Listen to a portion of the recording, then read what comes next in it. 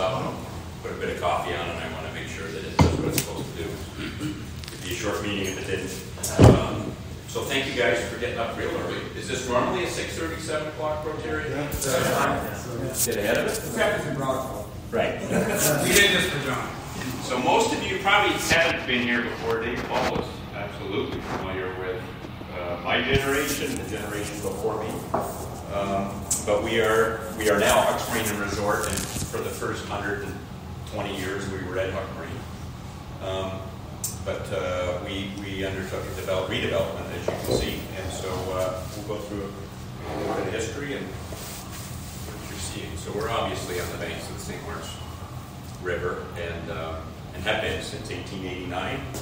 Uh, by, by marriage, I guess I'm fourth generation. I married Heather Huck and I bought her, Heather and I bought her dad about 30 years ago. And that was uh, Jerry Huck. Um, and he had a brother, uh, has a brother, Morris, and Morris lives next door actually. And Jerry and Morris were the two instrumental in the third generation that uh, we were able to build on top of, uh, starting about 30 years ago. So we'll go through a little bit of introduction, the vision, uh, vision, mission, you know, core values, etc., uh, and then where we're going here because we're not done.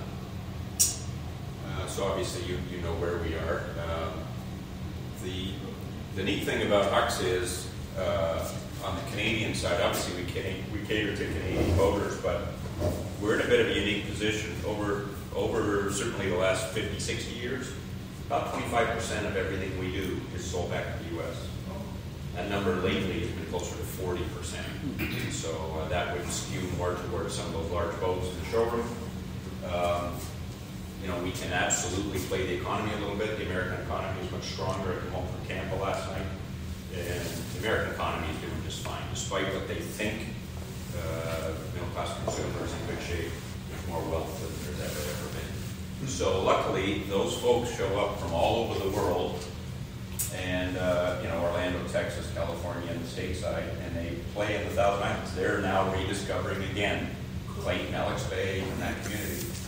Um, for us on our side, our side's much more personal. So the people we serve here, obviously Montreal, Ottawa, Toronto, but it's it's uh, England, Hong Kong, Australia, obviously a large U.S. contingent. These people come in from somewhere in the world.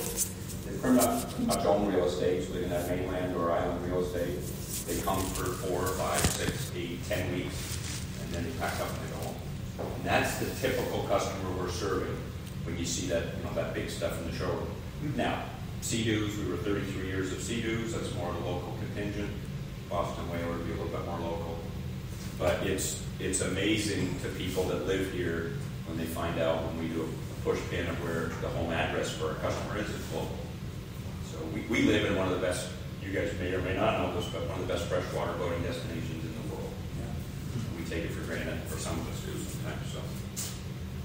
And then, um, in 2019, uh, a little bit more history. So Peter Johnston is my brother-in-law, and he was my business partner for 27 years. Um, and he, he had looked to get out a few years ago, so he'd been here longer than I was. He'd started in the 80s. And so we engineered a plan to, to have him sell the shares, and two other individuals come into the operation. A gentleman named Mark Dalton, who's an Ottawa-based builder, owns three building companies and another gentleman, Nathan Sheaf, and he had just sold a company, a widget company, uh, for lots of dough.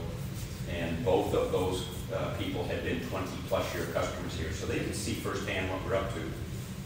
And Mark Dalton actually, he was the person who was to build our ParkStor facility, that giant boat shed on the parkway.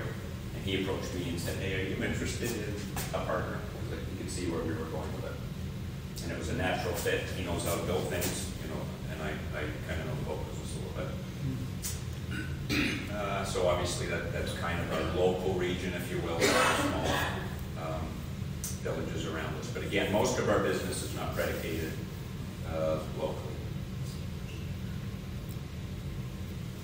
Now, that said, these people show up and they become part of the local economy. You know, they buy real estate, they buy boats, services, restaurants. Know, more and more Toronto coming this way as Muskokas and, and that drive becomes prohibitive. certainly they've gone to the Kawarthas over the years, but more and more of them are figuring out if they come three hours east, uh, they can skip, you know, some of that hubbub. It used to be a little bit predicated on the pricing of real estate. That's not the case anymore, as we all know locally. Uh, we, we certainly, maybe not caught up in Muskokas, but we're right there behind in terms of waterfront state values. So again, we, it started in eighteen eighty-nine. If we go up to the top, we go to Fred Puck. Fred Puck um, was the first one to settle on a piece of land, actually just adjacent to us in Rockport. Come down one generation, you get to Ed Huck and Howard Huck, two brothers. Howard's Marine next door was the Howard Huck side, and Ed Huck Marine, you know, is our side. We continue on from there to uh, several boys, but two of them were Jerry and Morris were the primary that we then built on top of. Uh, so what do we sell? Well, we sell, that, that image is kind of cool because it captures, you know, just about everything that we do do right now. Um, This is my boat here, it's a thirty-year-old, thirty-one Tiara.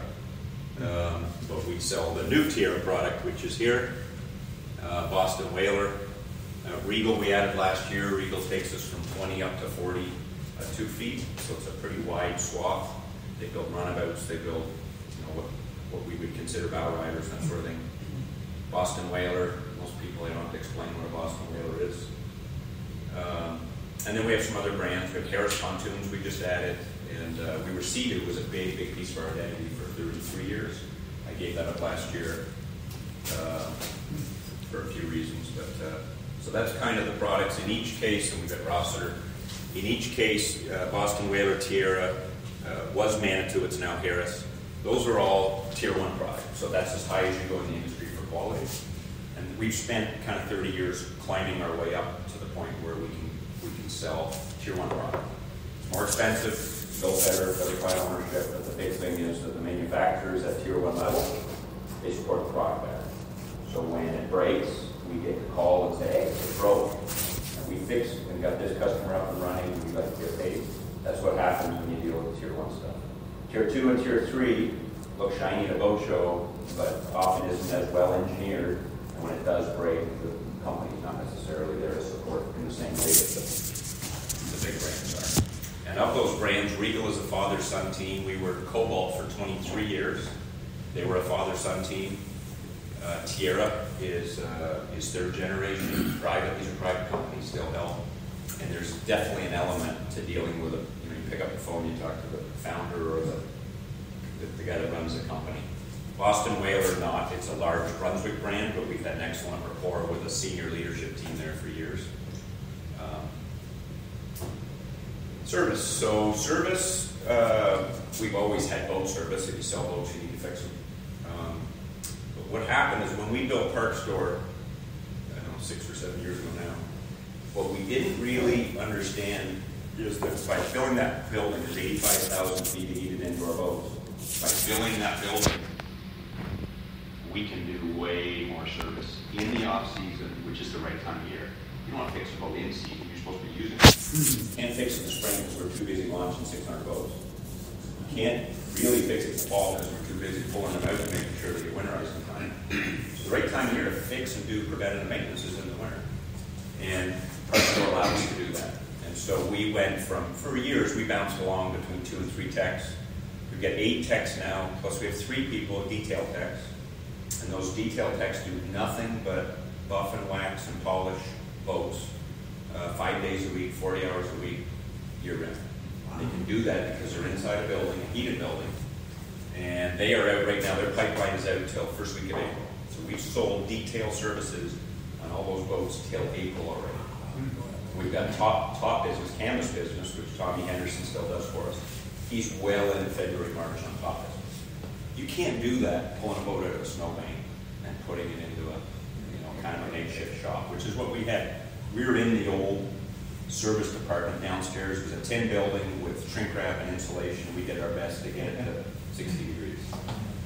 So what we didn't realize was the amount of, uh, of service, and then we sell eighty-five cents of parts to every dollar service, give or take. I was just at Spader, and Spader's our performance group, so we meet three times a year in the US or here.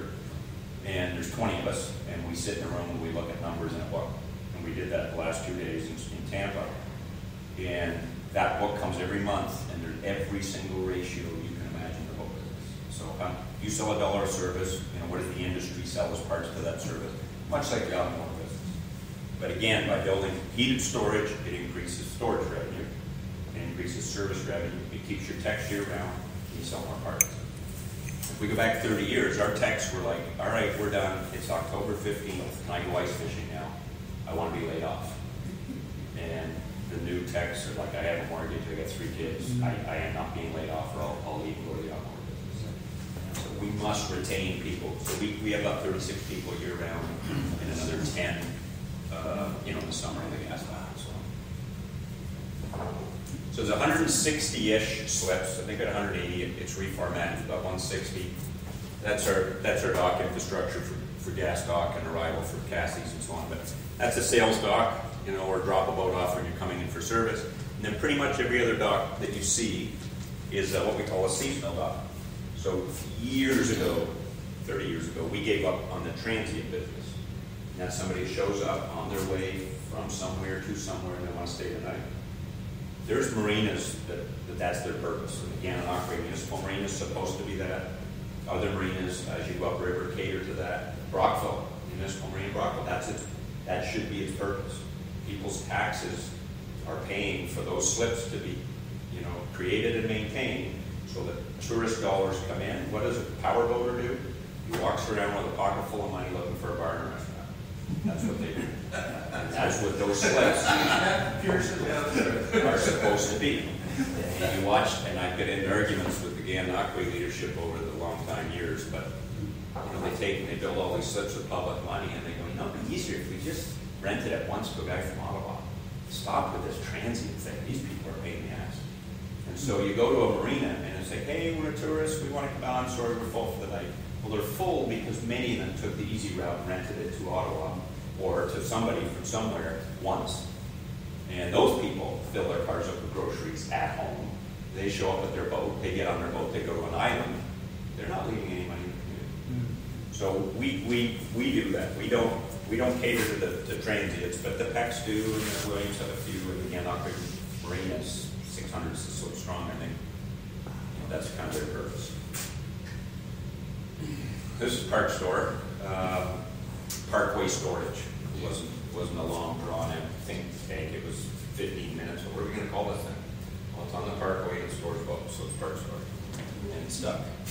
Um, if, if you guys have time, I'm not sure what the agenda is, I can give you the nickel tour here, and then if you want, you know, on the, on the exit, we can get cars and go over and park and just go through ParkStor if anybody's interested, I have time to do that.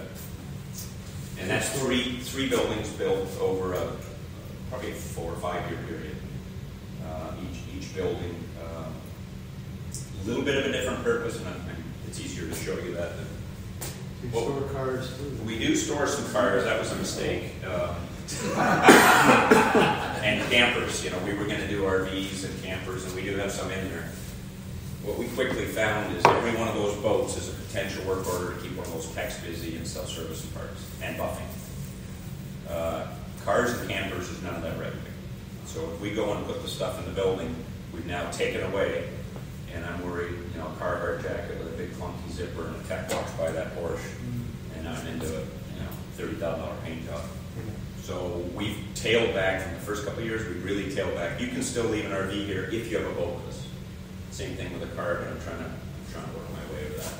That was not a, and, and when we built the first building, uh, it was Peter and I, at that time, we had a budget of X, and we ran the modeling around, where are we ever gonna find boats to fill this building? Who's gonna pay us this much for heated storage? We ran modeling around sixty-five percent occupancy over the first three years, and we hope to get there. And it's like, you do the math, can we make a payment? I think we can cover a nut on this. Yeah, okay. First year, full. Wow. Okay, so let's try and build another one, you know. Um, And they're not inexpensive and the racking, they're super insulated. So we built another one and he said, well, let's do the modeling on fifty percent because there's no world. We filled one up, let's not get cocky. At fifty percent, how many years before we think we can get to full occupancy? Second one was full before we built it. People put their hand up and said, I'll take a spot third, you know, much the same thing. So we have plans for ParkStor Four, we get into that a little bit. So How many boats do you store? I don't know. we store about six hundred boats in total, I, got- but that's between here, the card store, and then for years and years, we rented, uh, Tom Henderson, Kenny Tomlinson's lot at the corner of Reynolds Road and four hundred. When you go by on the way up the Rapid Valley, there's a big shrink wrap dome, and there's boats everywhere, that's us too. So, so the, the, they, compound boats go with a lesser work order attached. Inside heated, you'll see when we go to the building, there's buildings that have identifying tags, they have active work orders, and they're in a building that's gonna be crashed at some point this winter and work done. Stuff that goes to Tommy's is gonna be more center consoles, more outboards, less active work orders. So, you know, our vision is to be a first-class destination delivering experiences beyond boating. The beyond boating part, we're in the boat business. We're the service delivery business, that's what we do. But it goes beyond just selling a boat. It's, you know, the phone call, they're coming in from wherever, and they're landing at the Ottawa airport, we'll send a cargo. If they need something at the dock, you know, we'll put a kid in the boat run over to the dock and deliver it. So it's kind of a concierge mentality. Whatever it is we need to do to make your time here more enjoyable, so you stay in boating, you know, that's our deal. And that can be anything. If- One of the kids walking across the parking lot, you know, if they see somebody pulling in with a car and the trunk goes open, you get your ass over there and ask them to help you. Can we help with those groceries back to the boat? You know, that, that sort of thing. That's the attitude that must prevail to enrich the lives of all who play, live, and work on the water. And that includes our employees. You know, if our employees are in a crappy mood, that all goes downhill. So they have to be happy to deliver a great experience. And we work pretty hard at that. And you're able to find people to do that. We are, yeah, thirty-six employees, we have very little turnover. We have people clamoring in the summer to be part of that ten kid gas and Kathy's group. Um, The core values are excellence, integrity, teamwork, commitment, we're passionate, and we do put our people first. You know, their, development, we're sending these aid techs are all over the place, they're in Atlanta, they're everywhere in a plane, learning the technology that's involved in some of that stuff. When you go in the showroom, you'll see it, a six hundred out, you know, horse outboard, two props, a transmission in the middle, the outboard's hundred and ten thousand dollars US, just the outboard. But the diagnostics and the learning curve, we were the first in Canada to get six hundreds. Two techs had to be trained in Atlanta to even receive the vote. Um, There's, what's happening is the delta between staying current with all this technology, you've got to double down on your training and everything else. Or you go the other way and it's, you know, somebody with a pickup truck and some wrenches. He's running out of stuff to fix. You know, that stuff's getting older as the new electronic. I mean, there's, one tech here does nothing but screens. He just does GPS. The, the technology on a new whaler or a Tiara is beyond, you can push a button, we leave here, push a button, put your finger on Kingston, and the boat will draw a line, and then it will navigate. So it's even further than a car, you know, some cars can do that now, but you can push a button and it will take you through the reds and greens to Kingston and not run Yeah, could go back to voting. What's that? I can go back to voting. You gotta figure out how to push it on.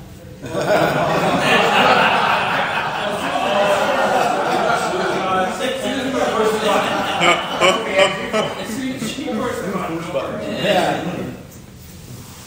Building is what we're in now, It's named after my brother-in-law Peter Johnston, who's, who's actually, you know, he retired a few years ago, he'd had enough. Um, So then I spent the next three years asking him, you bored yet? You bored yet? He's one of my best friends, you know, he's my wife's, my wife and uh, his wife are sisters. And finally, you know, we were, I think, in Lake Placid, and maybe, you bored yet? Maybe. And so he's been working here full-time again since uh, last year. He's a delivery captain. He shows up on that really big fancy stuff that pushes buttons. He shows people how to push the button. Spends a day with them.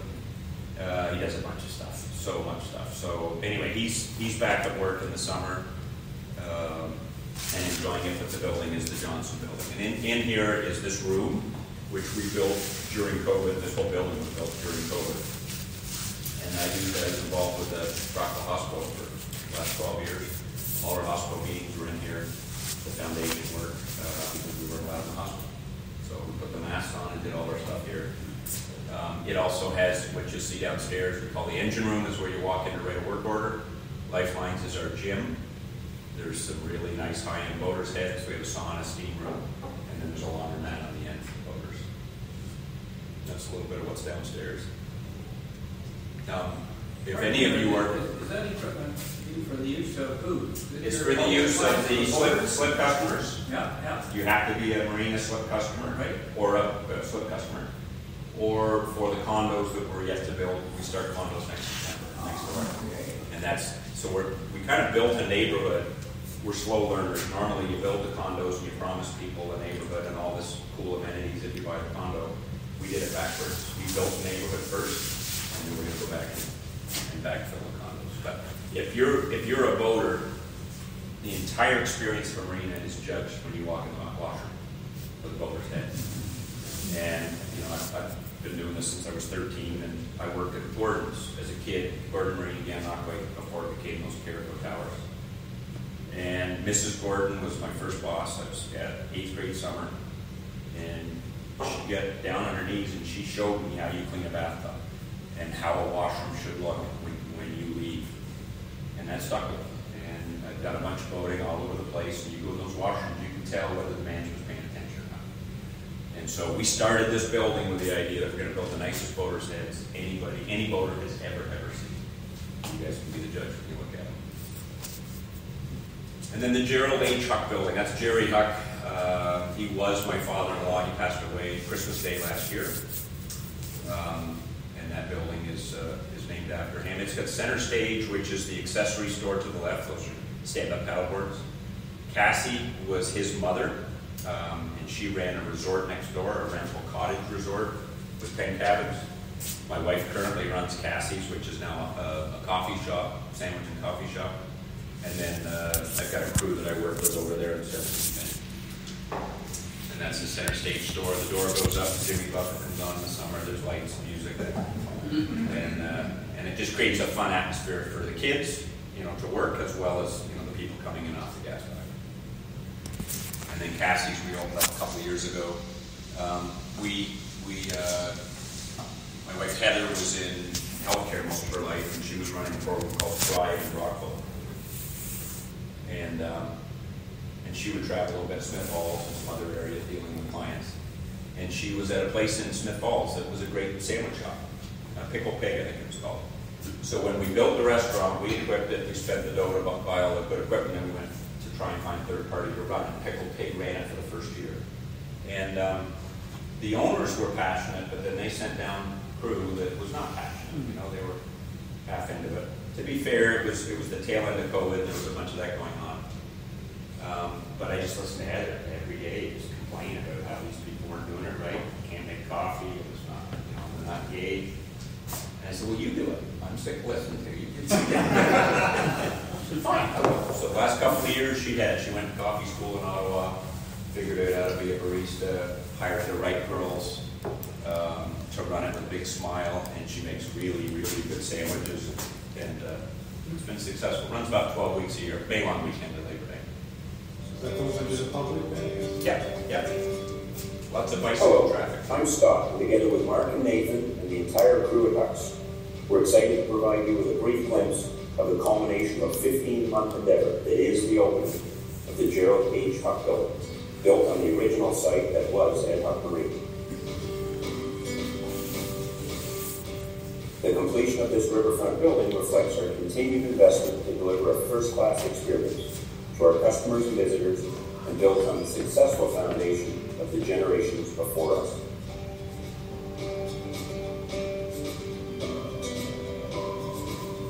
On the first floor of the building, you'll find Center Stage, our new retail store offering boating apparel, water toys, provisions, and so much more, as well as offices for the sales, administration, and marketing team.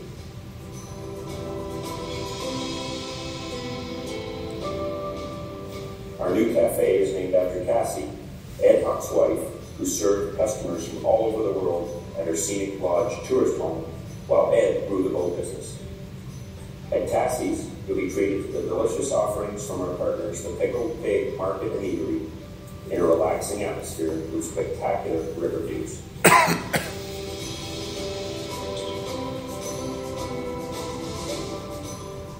The second floor is home to our business and accounting offices and designed to highlight the beauty of the river views.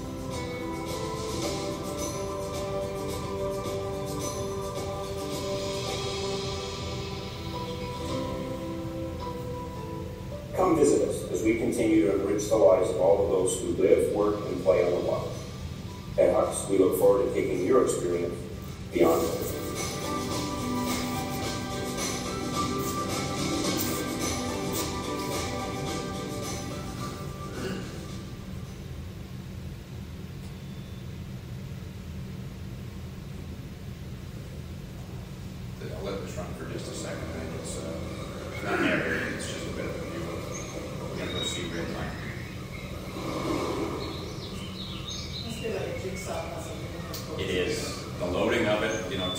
to, to make sure that we capitalize on every square foot. Um, Did you fly drones through there? Amazing what drones can do. Yeah. Yeah. So we'll, we'll go and take a real time view, but basically all the boats in ParkStor One, which is what we're flying through now, anything in ParkStor One racks has an active work order, so we can get any of those boats on the north side of that building by moving two boats. Because we put doors, north face doors across the entire building. And then Uh, you know, I alluded to what's next. Uh, There's three major projects we've got over the next five years. Uh, What's next, this is basically done. Uh, There'll be, there'll be condos put over here, and there'll be a series of three of them actually, and then two more units over here, so this slide's a little out of date, but essentially that's the concept of it. And we start with shoveling the ground next year, and they will be, uh, there will be eight units per structure, there'll be three structures to start. There'll be six units in the first phase, uh, two, two, and two. The top floor will be a little bigger, it'll be like, uh, it'll be about, um, fourteen hundred square feet, plus we get a five hundred square foot loft, if you will. The others will be about fourteen hundred square feet. Be two on the bottom, two in the middle, two on the top, everything will have an elevator. There'll be year-round zoning. Uh, most of the people we have, we have about three hundred people on an interest list that we've been curating for a couple of years now. Um, most, most if not all, this will not be a primary. This is not, they're, they're not selling something to move here. This would be Montreal, Ottawa, Toronto's primary. Uh, Naples or Lauderdale's probably second, and then this would be a thing in the summer. Uh, they could, in some cases, leave their boat right out front. So, go to condo in Brockville and move here, that's what. yeah. Um, Or Naples in the winter. So, so the other side of it, and there's another slide, but we've got a redevelopment plan for the front of the marina. That's the last piece that hasn't been redeveloped. Just a reconfiguration with some other slips out front, a new piece of breakwater. And then ParkStor Four, we've already cleared the land, we got the rocks, and you'll see that's to the east. Uh, and it'll be its own standalone, won't be connected, but I'm gonna build that so that we can put thirty-nine foot high fly bridge boats on. We can move sixty feet on a trailer, we have equipment to move sixty feet. But we can't put flybridge boats in the uh, ParkStor because the door, you know, the way it's set up. So the next building will have thirty-nine foot door, we back boat right in. And, uh, no, nobody locally can put fly bridges that big in. And then that's a bit of a shot this past summer, it's a thirty-four LS Tiara and a twenty-three Vantage Whaler sitting top. It's actually Peter's thing. And that's it. So, questions? It's sort of a craft. The gas dock? Yeah. In season, um, seven, eight feet, maybe more. Never an issue. What's it dropping, about three feet? Yeah, yeah, so from, you know, our high waters, first week of June, always, you know, crest somewhere on the first week of June, except in seventeen and nineteen. Um, And then, uh, when you're four or five feet low now. Seems really low this year. Yeah, Um, But after, we need to get to Lauderdale, or to uh, Labor Day is key, and then, and then there'll be a bit of shuffle, the stuff right around the back, if people want to keep going, we'll shuffle people through October. Thanksgiving, game over, we, we get the holiday, we lock the- the doors for the bathrooms, it's over. so. I'm docking for people that might want to come in for lunch and Yeah, yeah, there's a bunch of infrastructure right behind here, there's three more docks, my tiara is on one of them. okay. Uh, so there's those docks when you come on in for lunch. And if you come and you ask the kids on the gas dock and it looks like it's super busy, then they'll put you over on that sales dock I showed you previously. Yeah, yeah, we've got lots for, and what we didn't, you know, we're into year three, next year be year four for Cassie's. Um, the amount of bicycle traffic, right, on the parkway is the province has paid attention and put washrooms on the end. You know, the, there'd be a half dozen bikers coming in every day, bicycles, as well as some motorcycles, but bicycle crowd comes in, and beer apparently is a great energy food, apparently. Vitamin D. Better take that. I always think about the condo development. My impression of Rockport is it's a touch. old. Right, so this will, re we, so regenerate, I mean, the White House, we own this as well, and that'll go away, that'll be phase two over here. Um, We've been years, years and three million dollars into permitting, and, Yeah. and, uh, we're, we're there, we got our, our- our pieces of paper sixty days ago. Um, and the township's fine, at the end of the day, the townships, they want some revenue, there's thirty units gonna pay for that, some tax base, but it does take Rockport to the next level. And what we hear is, you know, the folks that are interested love the idea. They can come from somewhere, park, they don't have to drive their car again for the rest of the weekend, they can walk to the village, you know, there's a bit of a bubble over there, it's an infrastructure, so. So just, uh, just on that, just a little bit further, so in terms of infrastructure for those residents or, you know, temporary residents, uh, restaurants, stuff, stuff like that, like you have plans to try to in- in- increase the capacity of your restaurant or just rely on what's already in Rockport with Cornwalls and all that? Sure, so, so certainly rely initially, uh, Cassie's, Cassie's will probably get a piece of. What wasn't in the image here, because it's not a great image, but over here, this, this is an old image. What happens is this now becomes, this becomes a pool, a gener, like a, and, and the amenities building that, uh, wouldn't let us put over here, they'll let us put here. So the amenities building and a pizza oven and a pool patio, uh, would naturally expand, you know, a little bit of food offerings during the summer for the restaurant, but. And I think the condo people would probably, you know, get into building a community, people come over in the morning, but are we gonna be a full-fledged, get your car and come here as a dinner venue? No, no.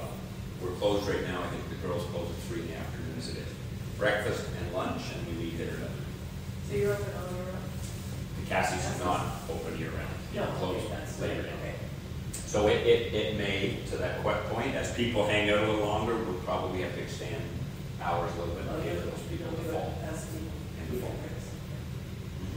You seen Friday Harbor on uh, Lake Simcoe?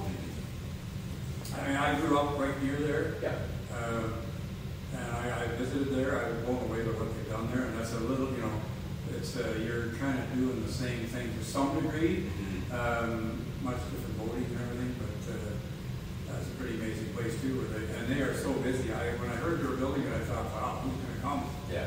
place is just booming, just full. GTA. And you're, you're right about Florida, Athlon, or Florida, where, Right. So if you grew up there, Lagoon City was the first to do that. yeah. That's right, Lagoon City, but somehow Friday Harbor got my attention more than Lagoon City. Right. I've been, I've been to Lagoon City. Yeah, they were the early, early ones to try it, They maybe were. before their time. Yeah, you're right. But Yeah. GTA just went north and did the whole Friday Harbor Yeah, thing. Friday Harbor, Lagoon. And then Maple Leaf Marinas, you know, has bought up all the assets. They've got 19 properties now up there, and some of them, the Bay Ports and some of those places, there is a development play. Lefroy, just south of where you Yeah, were, I know Friday. You know, they got a bunch of land. Troy Stoves, Harbor there. Stovall's had a bunch of land. They can, so, so you're gonna see more and more marinas, you know, take some upland value out of the property. In the past, most of my colleagues have, have sold out in states, and the developer shows up, the marina essentially goes away, and they take that land to a much higher purpose or better yield. I'm super fortunate because we get to do both. We're gonna get, you know, a bit of a land play next door, but it doesn't change what we do in the core of our business, which is to stick around and be focused.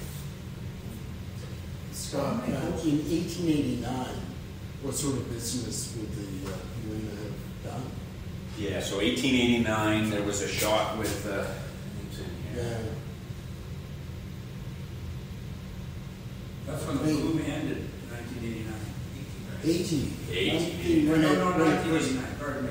That's not nineteen Let's eighty-nine. find the shot with the, oh, it was in the video. Uh, It was in the video and it was the, it was the homestead that was there up until about three years ago. And then Cassie's had ten cabins. Right. And that was the dough, that was the money. Ed just came and played with boats. She ran the show, she drove the income. Um, but he had a long building that's on the site of the Gerald Huck building now. And it was a long shed and they built wooden boats. And then, um, Fred and then, uh, then Ed actually uh, was blacksmith, and he cast Invictus single and twin cylinder engines to power up the boat. So he built the engines a hundred years ago here to power the wooden boats. Pretty incredible. He couldn't, there's a story where he couldn't, St. Lawrence Engines wouldn't sell him or show him plans for the crane. He went to Syracuse and had an engineering company build him his crank for his Invictus motors. And then powered the boat down to St. Lawrence Marine to show them what he built. Um, so, so, but when, when we tore the house down, uh, it was difficult, because you know, there's four generations of family. Cassie had money hidden everywhere. Products of the Great Depression. You'd open the book up, your floorboard, there was money.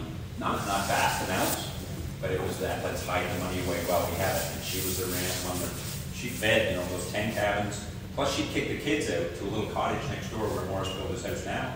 She'd kick them out of their own bedrooms and rent those bedrooms upstairs. There were numbers on the kids' bedroom doors. So She was the entrepreneur and, and, uh, I'm not diminishing anything that Ed Huck did, but, uh, marina business was not the dominant income during that time. Scott, who, who Yeah. do you use as an architect firm? Because they seem like your designs are pretty unique. Yeah, James Salem at McRobie, uh, and McRobie and Associates in Ottawa. And that's, he drew ParkStors where it started, and then we had him draw this, and he's drawn the condos as well. And then he drew the, John Belmar's place is a building that's next to ParkStor, just to the west, and everyone asks us, why'd you build another building that doesn't look as big as ParkStor? Same, same architect, uh, and that's just Jean-Louis garage, he's got some stuff in it. Uh, But it's the same architect that kind of copied the DNA. Do you have a mechanical engineer? Maybe one more question. We- we- Sure. Yeah. So how many boats would you sell a year? Just a, Uh, well, we just finished two days of this. N- Not as many as you'd think. Um, like 85 new units, eighty-five? around 85 new units, and another 100 used. And then we were in the CD business, so that was, you know, a couple hundred units a year. Um, but it's not, the average price of our units is more than maybe, of my colleagues that I sat in a room with, you know, they have 70 towboats, Mastercrafts in stock, or, or they might be in the pontoon business and do 100 pontoons, we do, you know, 15. Um, My impression is your boats are very high-end. Yes, yeah. Probably in, in Canada, we'd be one of three at the level of what we're doing in, in the country. So there's one in BC, and then there's one north of Toronto, um, and that was Pride Marine, and Pride has a bunch of different brands, and they're, they're doing some big units, but most of the others are somewhere in that spectrum.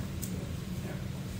Well, I'm sure we can ask questions to Scott, those who are staying for the tour, as you walk around, but, Yep. uh, I'm gonna turn it over to Dave to, Yep. uh, Okay. give you a thanks. Well, Scott, much gratitude, not only for the presentation, but the tour, and uh, for hosting us so well in in a much elegant building. It's Yep. just- just amazing, and uh, much appreciated and recognized.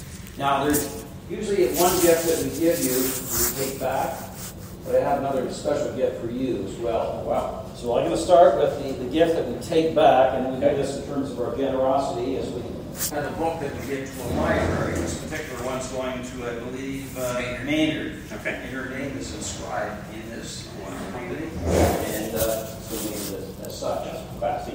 But uh, the one that you don't know about, and uh, uh, I was doing, it's kind of serendipity. I was working in my coach house yesterday, and I came across a photo back from the early 80s Mm-hmm. uh, with Jerry, and you know, what? and Jerry and Morris. I knew the three generations quite well. I didn't know the amazing things you're doing here. But this concerns that in that video, you've seen a, a building come down, that blue building. Well, this is a picture. I was working for the government at the time, Ministry of Industry and Tourism, and we had a program called the Eastern Ontario Subsidiary Agreement, which is the federal provincial money giving grants to tourism infrastructure. And one of the grants successful was from Huck's Marina. So this picture here, you may have seen it. And uh, this was given, uh, taken where that blue building was, kind of noting the grant. But uh, Jerry, having all the contacts, brought uh, this powerboat down from Toronto. Bill Taylor had a boat in Canada. And uh, we went out to a little, uh, Bill Drive. And I had a little uh, handkerchief in here. I'd never been on a fast boat. It got sucked out very quickly. and Russell was a part of the, uh, the entourage as well. But this uh, was back in, in the early 80s. And I thought, uh, now it's a, a rough frame, so you might not take the frame out, but uh, it's quite an interesting uh, picture. We've got a great spot that this is gonna go, as you'll see when we go over there. Look, But uh, Jerry had a lot of contacts. Maybe you didn't know this, but that uh, celebration of life at your place just uh, last summer. I'll tell the story about it. Uh, Jerry had contacts, so we got we went up to Toronto to meet Bill Taylor to see whether we can attract the poker run to the Thousand Islands. And this would be back in the early '90s. And again, Jerry had contacts like you wouldn't believe. We went up in, in his red sports car in about two hours from Rockport, from his home up here. Bob Russell wasn't the Solicitor General yet, so he'd have to pay the fine if that actually occurred. he got back, but he was successful, and uh, we got the uh, poker run back, and the first uh, time was at Brockville. But there's so much story and history behind Huck's Marina. Uh, Hal McCartney wrote a film script, and uh, I can't find out where it is. Maybe I promised you that. But it was about the rum running that went on, and he had uh, Ed or Fred Huck in the script associated with selling the fuel to the bootmakers going back and forth. Al Capone and all this, anyways. But uh, it was uh, you, you should be proud of what the Hucks and, uh, and your family that you've done so well, and this is something to be very proud of. You know, treating Canada like at this scale, and uh, you see it growing and growing. So, thanks very much, and uh, thank you.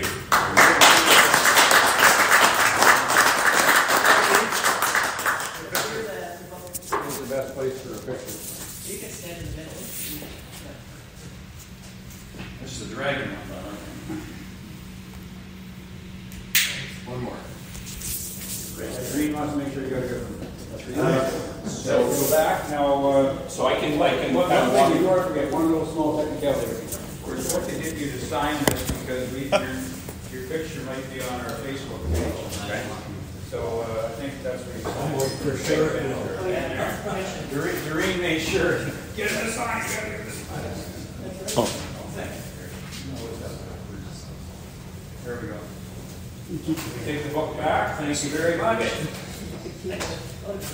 I've got a great spot, as you'll see, there's a bit of a history corner over in the other building, and uh, pays homage to the people that, again, we're, we're simply taking what was given to us and we're building on top of it, right? And uh, we'll do that, so the next generation will have next. So succession planning, Yep. have you got? Based on what I've spent here, as long as I work till I'm ninety-seven, this is gonna be fun. So, It's uh, always a good question in any business. yeah, I'm not, in- I'm coming up on sixty, I'm in no interest in retiring anytime soon, so. Well, looks like it's a fun business. yeah. Yeah, looks like fun, yeah. Yeah, for the most So, part, it we're gonna finish our meeting here really, very, we're gonna do it quite quickly. Um, I have uh, two, or maybe three things I want to mention to the, to the book. Uh, and you can stay, enough